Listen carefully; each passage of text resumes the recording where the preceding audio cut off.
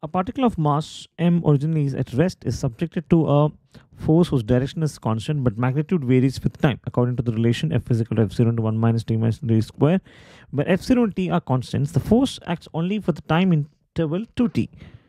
Uh, okay, the force acts only for the time interval 2t. The velocity v of the particle after time 2t is. Okay, see, this is a question based on integration, right? Straightforward integration. Uh, those people who are uh, preparing for the JEE mains, uh, this question is from JEE mains anyway. Uh, you'll be very much familiar with integration because you're doing anyway. You're preparing much detailed questions for integration in your uh, maths preparation. Uh, but otherwise, I would suggest it's always better to understand the derivation in detail, the solution in detail. And this time I write each each and every steps in a detailed way so that you can understand if uh, you know if students are from other um, background who are not much into maths for them i'll write the detailed steps. Give me a second for that. Okay so i have written um, possibly all the steps in in much detail. Okay so we'll divide the steps in uh, the solution into two halves. Let's first discuss the first half.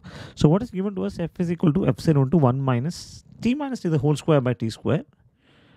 Okay by t square now, we know that we've been asked to find out the velocity here. So, what is acceleration? Acceleration is force by mass. Now, we can write this as 1 by m into f. Why? Because what we have here is f, right? So, this much is f over here. So, what we'll do is we'll write this f, we'll replace f by f0 into 1 minus t minus square by t square. Okay, so now this is acceleration. Now, why did I bring acceleration? Because we've been asked to find out velocity. And what is velocity? Acceleration can be written as dv by dt. So now I can write the dv by dt is equal to f0 by m into 1 minus t minus t the whole square by t square. Now, I'll take dv on the LHS and I'll transpose dt to the RHS, which means dv is equal to f0 by m, both of which are constants, into 1 minus t minus t the whole square by t square dt okay. Now it is given that the force is acting only for the time interval 2t which means the which means the low the upper limit for time time is 2t and obviously the lower limit would be 0 and the initial velocity it is starting at rest. So for the initial velocity u is 0 and it will gradually attain the velocity v. So the lower limit is 0 upper limit is v. I hope to find out the limit is clear to you. Okay. Now keeping this in mind We'll integrate dv. What is integral of dv? It is v, lower limit 0, upper limit v, f0 by m.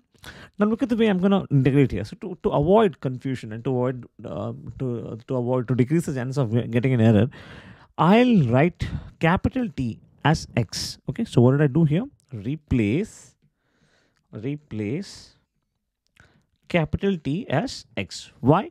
Because it may be the case that you'll get confused with capital T and small t. So I don't want you guys to have that confusion. So to avoid that confusion, what we'll do is we'll replace t with x. Now comes the detailed part of, uh, part of the solution. Give me a minute. So we know that integral v, v okay, uh, dv is v, weighing from 0 to v f0 m into 0 into 1 minus m minus x. I've just borrowed the previous equation since I started afresh. Now, what I'll do is, since there are two parts within this fraction, I'll just split this integral into two. So I'll splitting one integral into two, 0 to 2t, 0 to 2t. First will be for 1 dt, second will be for t minus x the whole square by x. Okay, my bad, it's not x, it is x square, x square dt. Okay. Now what is integral of 1? Integral of 1 is, integral of 1 is t varying from 0 to 2t. Now see, since x is a constant, since x is a constant, I can keep x square outside the integral. So I'll write it as 1 by x square into integral 0 to t, t minus x the whole square. Now, which formula are we going to use here? See, what is integral x minus a the whole power n? It is equal to x minus a the whole power n plus 1 the whole upon n plus 1. So using this formula, what is integral of t minus x the whole square dt? It is t minus x the whole 2 plus 1 by 2 plus 1 which is 3 by 3. Okay. So the next step we'll substitute the limits. So upper limit is 2t. So t from 0 to 0 means 2t minus 0. Okay. Um, yeah, 2t minus 0. Then what we have is 1 by x squared into here I didn't substitute x because the, the integral was almost, well, a minor mistake here. It's not capital T. It should be, it should be small t, right? Because we're integrating dt. So we have small t. Okay. Now when you integrate small t, what you get is upper limit is 2t. So 2t minus lower limit is 0 minus 1 by x square into upper limit is 2t. So t minus what is the variable? The variable is t. And what is the constant? x is the constant. So maybe for your clarity, I can write here. That is the thing. That is the variable. So t minus x has to be substituted. t has to be substituted with 2t. So t minus x becomes 2t minus x. Lower limit is 0. So t minus x becomes 0 minus x the whole cube, the whole cube by 3. So f0 by m, 2t minus 0 is 2t, 1 by x square. Now I'll replace x square with, so I'll replace, I'll replace x square with t again, x with t again. So when we do that, what we have is x square becomes 1 by t square, 2t minus x becomes t, 2t minus t the whole cube, 0 minus t the whole cube, which is 2t minus t is t cube, 0 minus t is minus t the whole cube, right?